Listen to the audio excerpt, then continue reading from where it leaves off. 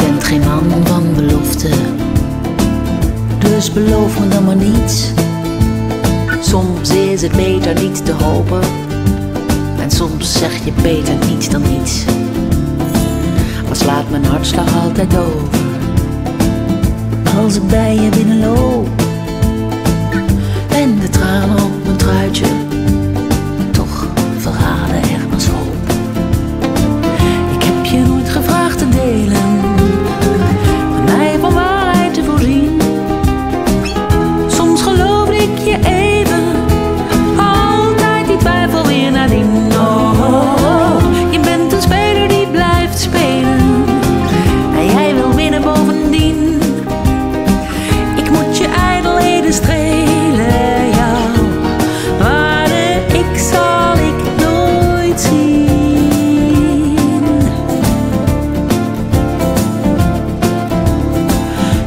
wel prettig zijn te weten dat alles wat je hebt verteld niet is verzonnen om te lijken op een ware antiheld.